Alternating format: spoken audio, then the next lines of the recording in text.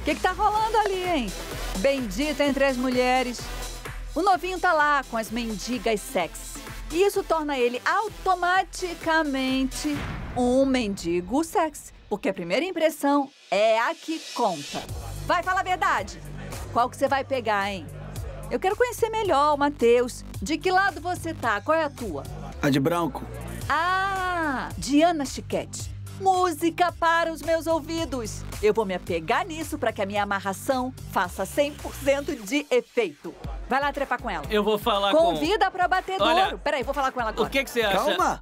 Todos são muito curiosos nessa casa. Não dá pra fazer nada de chavado que tem alguém. Opa, o que tá acontecendo? Boa sorte. Vem cá, quero te falar uma coisa. Quê? Acho tão estranho que a Karine chegue pra falar comigo. A fofoca é que o brasileiro achou você muito gata, adorou você. Diana, fala sério. Eu acho que tem um match perfeito com esse brasileiro. Vai lá. Você É, pegaria? Ele é bonito, ele é gato. Ai, não sei, não sei se eu gostei, se eu não gostei. Cara, na boa, para. Se eu fosse a metade sensual que você é, ah, meu irmão. E aí, quem você pegaria então? Ele e o Tilly também. É que às vezes eu gosto de todos. Mas o Ah, brasileiro é lá. muito melhor. Claro. Muda esse estilo, vai. Tá certo. Renova.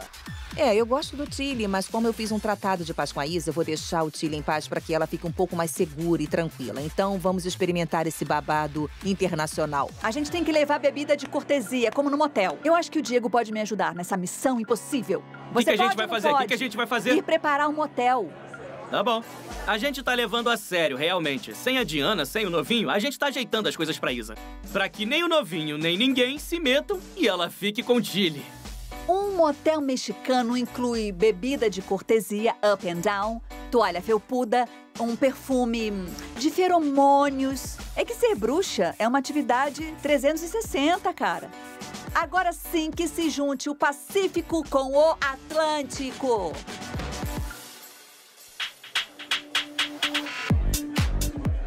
Olha só. Eu tenho umas boas-vindas pra vocês. Esse ano eu tô fazendo mais missões de caridade que uma primeira dama. Confia em mim. Confio. Eu preparei uma super surpresa. Ah, eu não gosto de surpresa. Eu quero estar pronto pra tudo. O garoto novinho parece um menino de 15 anos, tremendo e todo nervoso. Você não é aquele cara gostosão lá do Brasil? Vai, me levando pra mas tá bem, vambora. México! Bem-vindo! Happy New Year! Bem-vindo ao México! Karime, que que é isso aqui, cara? Tô num motel muito barato. Já deixamos as presas lá na cova e essa história agora se faz sozinha. Tintim pro México, tintim pro Brasil. Sim.